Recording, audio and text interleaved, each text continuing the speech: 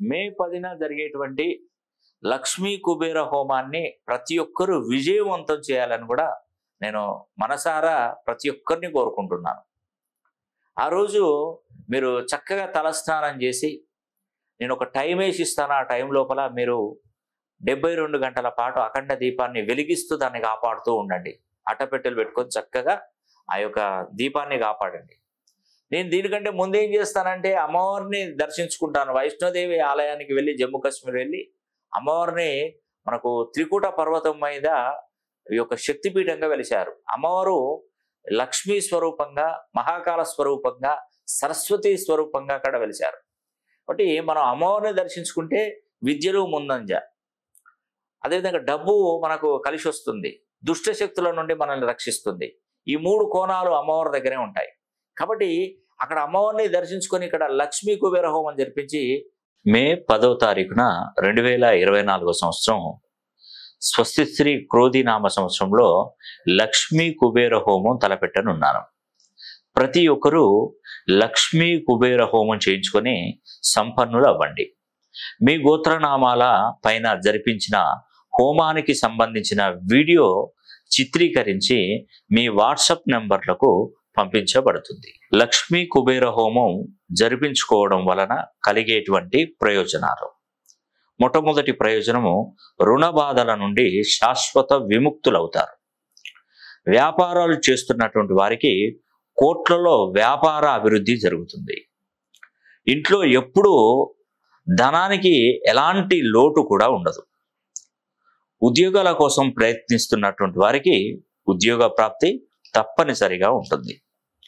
విదేశాలకు వెళ్ళాలనుకుంటున్నటువంటి వారు వారి కళ నెరవేర్చుకోవడం జరుగుతుంది.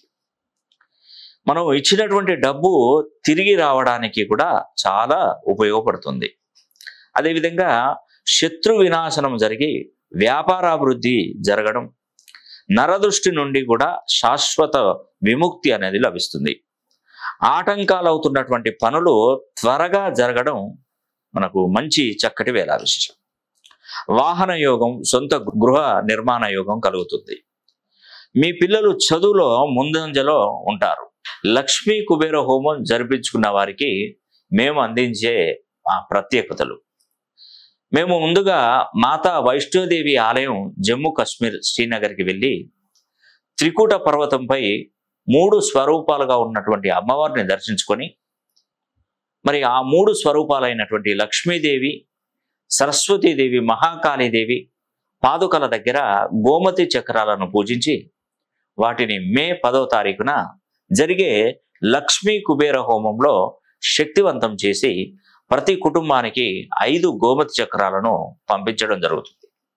వాటిని మీరు సంపద కొరకై వ్యాపార సంస్థల్లో కానీ గల్లా పెట్టెలలో కానీ డబ్బు దాచుకునేటువంటి బీరువాల్లో కానీ దేవుడి గదిలో ఉన్న కుంకుమ భరణిలో డబ్బాలో కానీ లేదా వాటిని లాకెట్ రూపంలో కుటుంబ సభ్యులందరూ కూడా ధరించవచ్చు. చదువుకునే పిల్లలకు చదువులో ఏకాగ్రత పెరుగుతుంది. దుష్ట పీడల నుండి నివారణ జరుగుతుంది. సంపాదించే ఆదాయ మార్గాలు కూడా పెరుగుతాయి. లక్ష్మీ కుబేర హోమం జరిపించుకునే వారు పాటించవలసినటువంటి నియమాలు. మేము మే పదో తారీఖున సాయంకాలం లక్ష్మీ కుబేర హోమం మొదలు పెడతాము మీకు ఇచ్చినటువంటి స్లాట్ ప్రకారం ఆ టైంలో మీ గోత్రనామాల మీద హోమం జరుగుతుంది. ఇదే టైంలో మీరు ఇంటి వద్ద ఒక పెద్ద పాత్రను తీసుకొని దాని నిండా గల్ల ఉప్పును దొడ్డు ఉప్పును నింపి ఆ ఉప్పు మీద ఒక ముంతలో నూనె పోసి ఆవు నెయ్యి కానీ కొబ్బరి నూనె కానీ నువ్వుల నూనె కానీ ఈ యొక్క నూనెను వేసి డెబ్బై రెండు గంటల పాటు అఖండ దీపాన్ని వెలిగించి కొండెక్కకుండా కాపాడాలి. అప్పుడు మీ ఇంట్లో లక్ష్మీదేవి ప్రసన్నం అవుతుంది.